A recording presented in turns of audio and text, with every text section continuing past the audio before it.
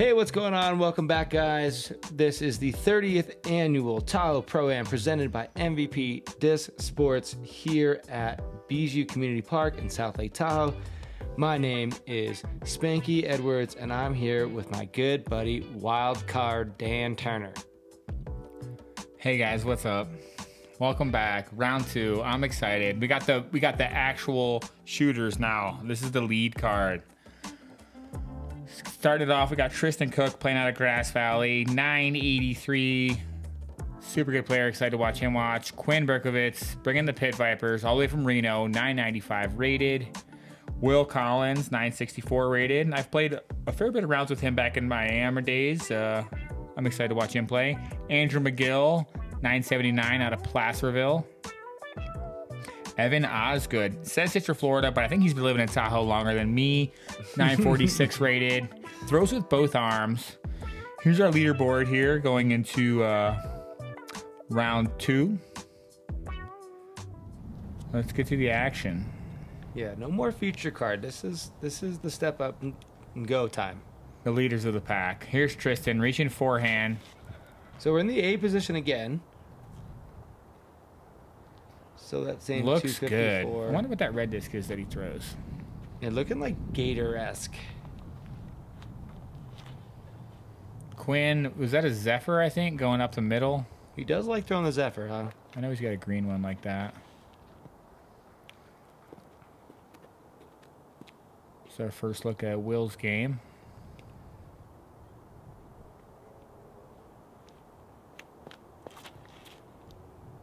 He's going hyzer stand up. I Look like he's down there for a putt. I do like that. Just you know, putter or mid, right down the gut, right at it. Andrew throwing this yellow and red Nova. He throws this thing all over every course pretty well. Looks like that thing got clean, maybe even long. Ah, Osgood.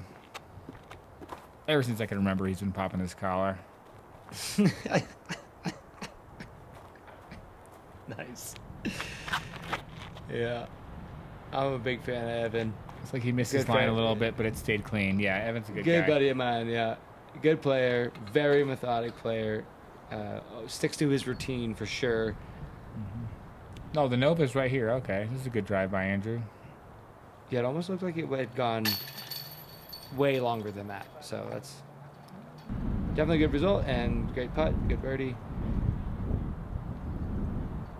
So this is the same day as round one of the pro am. So it's the afternoon, and traditionally the wind picks up a little bit in the afternoon. You can see it here on the flag. Especially this time of year in, in summer in Tahoe, we're gonna the, these warmer days, July August days. The, that southwest picks up every afternoon. It's very common, and definitely the front nine a lot more exposed to the wind than that back, which is a little more heavily wooded. So yeah, we'll see what it looks like when these guys get over to like hole four and five, and you know that wind's gonna be definitely swirling, ripping around. Definitely.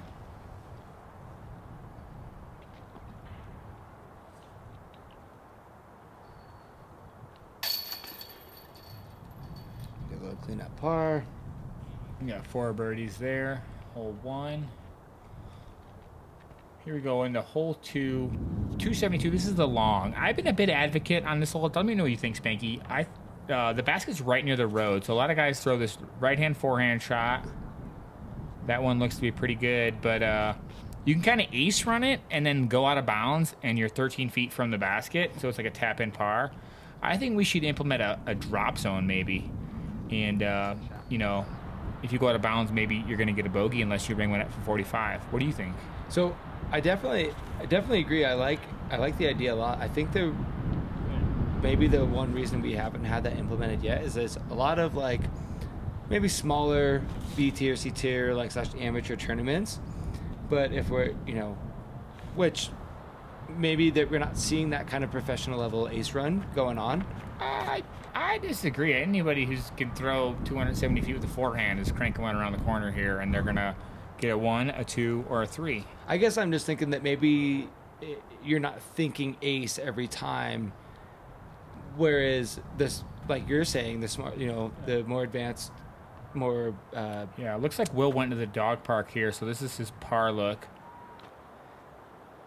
But I, but that being said, I completely agree. I do think that there the drop zone is a great idea. Mm-hmm. See, like right here, see, he's 45 feet away, and like it's. If that yeah. was the drop zone, that's an incredibly difficult drop zone. So if you went out of It's bounds and you had to go there, It just punishes the players who go out of bounds, which, you know, is kind of how it should be. our good buddy Jack Colpit, every single time he came up to this hole, would say one or three. That was his Yeah. comment every time because he was ace running it every time. For those so- you don't know, our buddy Jack Colpit, he's a nasty left-hander who uh, can spin the frisbee like nobody's business. he throws it. Quinn, far. nice, good putt there for birdie. Whoa. Andrew went OB in his approach, so this will be for a bogey. the caution tape makes it look like he was putting from out of bounds. yeah, that blew in from the curb. That was, the caution tape was wasn't really the out of bounds line. That was just to keep cars from parking Yeah. on the green. Um, it's a multi-use park if you haven't been here before. So there's a mountain bike park, a skate park. There's two different dog parks. There's volleyball. So uh, on a busy Saturday like this, they put the caution tape up so nobody uh, parks uh, on greens or, or fairways because they don't care about this golf. We're looking at one birdie, three pars, and a bogue. Is that correct? Yeah, Quinn got the only one. Hole number three, 288. It's still in the long position here. B. This looks like a pretty good move by Quinn. That's the shot. You want to be in that that center gap, flirting with that cluster of trees on the right with a gentle flip up with something still going to finish. Tristan, this one gets a little bit high on him. The high shot is tends to come up short and left. Yeah, I haven't played a ton with Tristan, but I've kind of seen him around. Super nice guy. Uh, I think he favors the forehand, but uh, his backhand's coming around, and uh, Yeah, you've got to. he's have, all around. He's a player, yeah. You've got, you got to have them both to shoot 12 under, right? right? This looks pretty good by Osgood. That's looking great. Yeah. The only concern is going long off of that back rock wall, Right. but I don't even. I think with it this right like to that. left wind though, if you go long, then you're putting with like a left to right, which is like, you know, I like to putt with a left to right wind. I Sure, mean, yeah. If, if I got right to left or left to right, I'll take the left to right. Absolutely. Here's Will. Good little bid.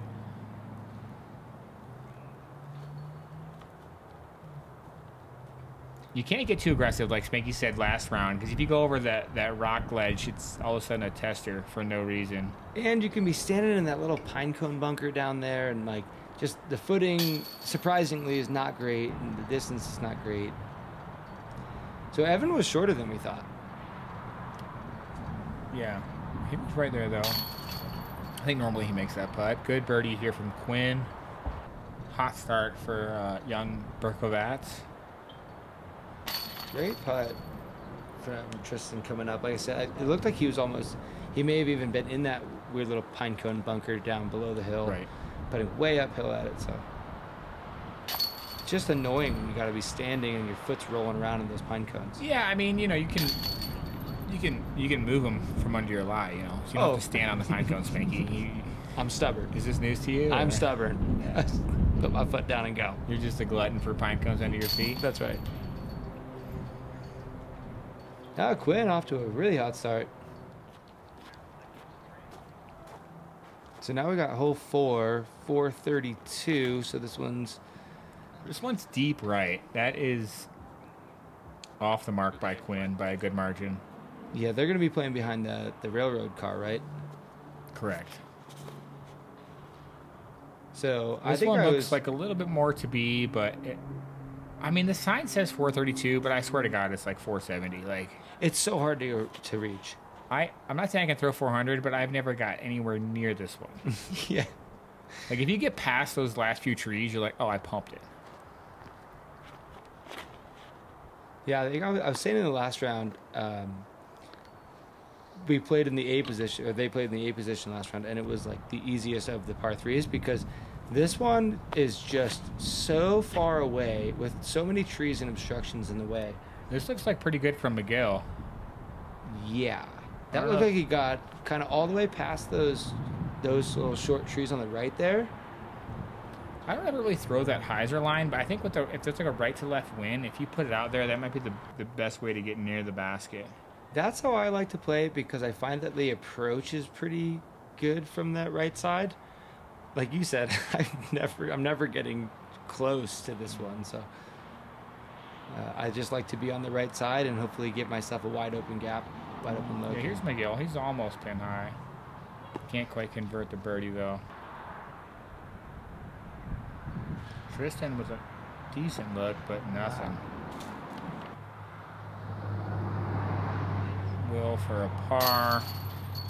Taking a look at the stats here, uh, round two there were exactly zero birdies on hole four. Thank goodness. I'm not the only one that can't birdie it. yeah, right.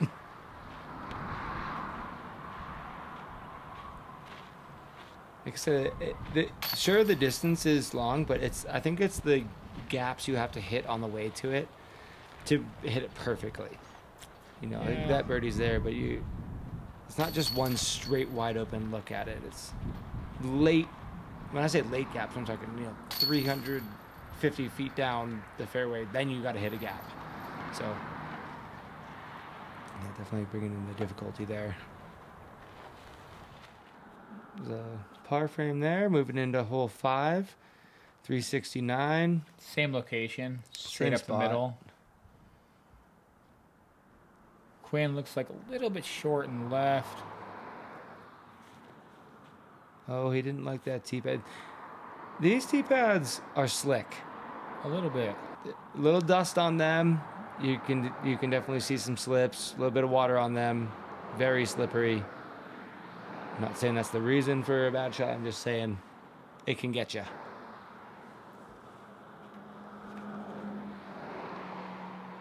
Evan, if that stays up and gets a skip, You know what they say about excuses, Spanky? everybody has one. They're like bogeys. Everybody makes them and they all stink. I was gonna say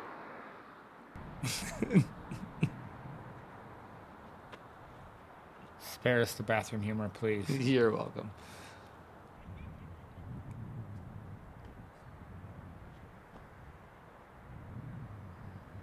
I feel like this is a standard look on this hole. Like if you even even good drives can get to there and I've seen a guy park it before, but yeah, I feel you. yeah, yeah, well, you got a pretty solid lefty forehand. What do you throw at this one? Carl. You are throwing Carl. Okay, I wasn't sure if it was Eagle or if it was Wraith or Destroyer. Nah. Ah, that's good. Mm-hmm.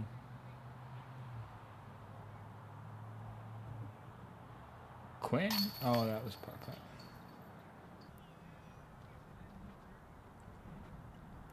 Pars around for our lead card. Yeah. Just four and five out here. They're just not. They're not gimmies, especially four when it goes to where it is now. I would bet there was Yeah. maybe more than a handful around two. Let's take a look. Over here on five, Almost a handful. Only four birdies. four birdies. Like I said, it's there. We all know we can get it there. It's just not a gimme. Coming into six, though, I think. I think. Oh, is this playing in the A position?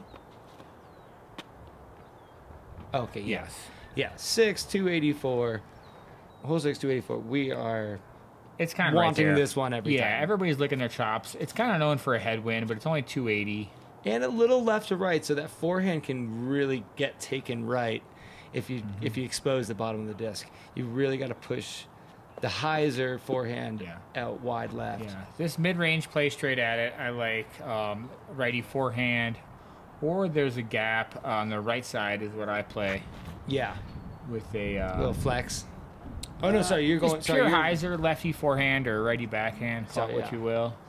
I've seen. I've definitely seen the uh, the righty forehand on the right side of that tree with the flex. McGill Firebird. Ooh, you almost look like you almost aced it. And then, yeah, right here where Evan's at, another common you know collection zone where with like I said that that left to right wind that's really common. It's like heady left to right. It pulls him over there. At 284, it feels like it's just right there, but if there is a little bit of wind, it makes it a lot more difficult to precisely hit that line. Right.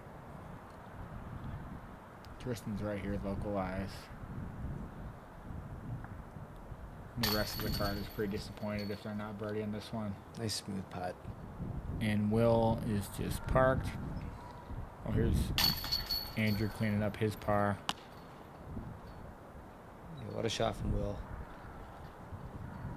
I do love that that backhand mid just kind of drift in slowly over to it, slides right up. Yeah, for sure. He takes that the wind factor out. I think it just kind of lets it slowly move instead of that forehand that just gets ripped over.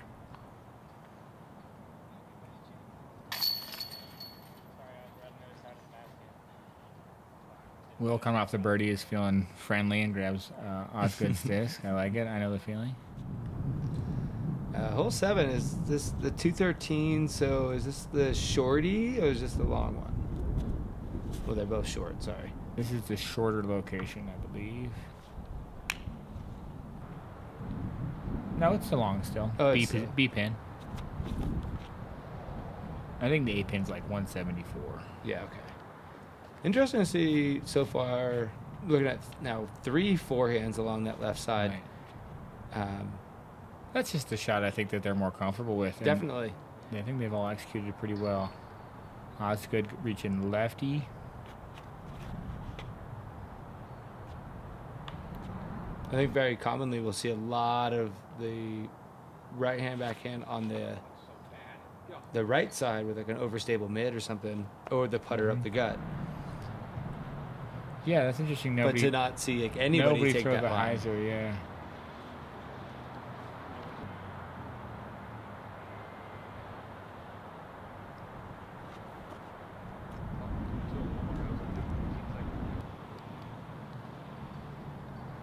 Andrew got the Nova to here, going up the middle. Good birdie. Oh, he almost hated it. I think he did hate it, but he got a birdie. yeah, fair enough. I, maybe not an almost. Okay, that's Will, disappointing miss there for his bird.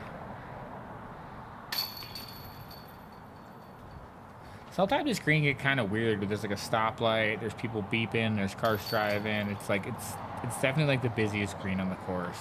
I'll be honest. Is So that's we always talk about like you know the front nine, like just a scoreable nine holes. Let's get it. And then every time I play, I'm just so excited to get to the back 18 where there's so qu- so much more quiet. There's no traffic. There's Yeah, you're down in the big meadow. All right, here's Quinn, 249, straight up the middle.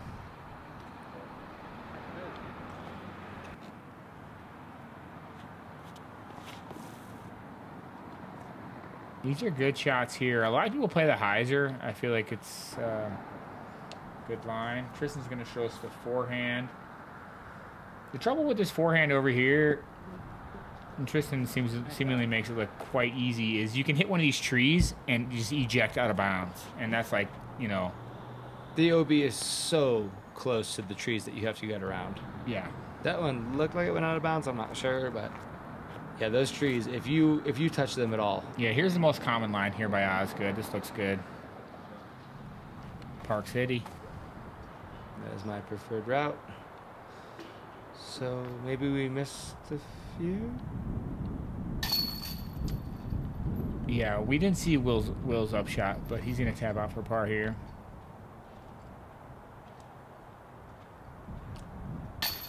If you remember in uh, round one, there's always a little bit of technical issues on hole eight at Bijou. but uh, we won't hold it against them. Good birdie there by Quinn. And we're on to the final hole of the front nine. 292. A pin. A lot of guys throwing mid range right up the middle like this and then letting it fade to the basket. Quinn with a little bit left to be desired, but I think he's putting.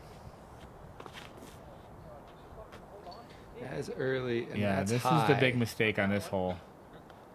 Yeah, if you go up that left side, you're, it, it, it catches one of those trees.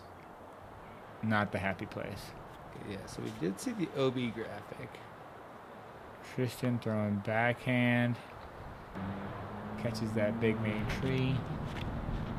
You're saying Tristan is a, a forehand dominant player? Is that correct? That's my understanding, yeah, Okay. just from being around him a little bit. I haven't ever played with him. But I would say he's over 90% forehand.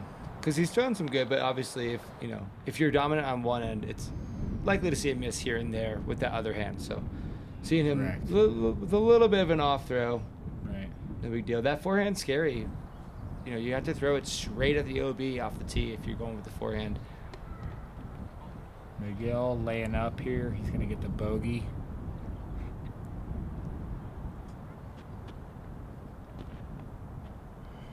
Just outside the circle for Will. Can't can't get the jumper to fall. That's a par.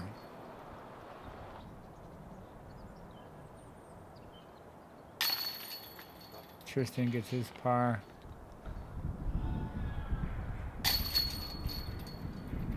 Nice comebacker par.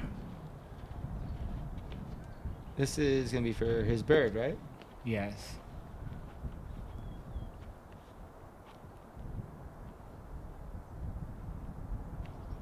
I do love hole nine. Such a Yeah. fun shot up the gut. It is a cool hole. I seem to go out of bounds at the most inopportune times on this hole. I feel you. Like I never go out of bounds except for when it counts. no, no, I get it. I get it. Sometimes I get a birdie here. All right, guys. Thanks for tuning in, checking out the front nine, round two. Looking at our leaderboard, Quinn has the hot six down through the front on this card. Osgood McGill just one, Collins two, Tristan with three down. All right, brother. See you guys in the middle. ya. We'll see you next time.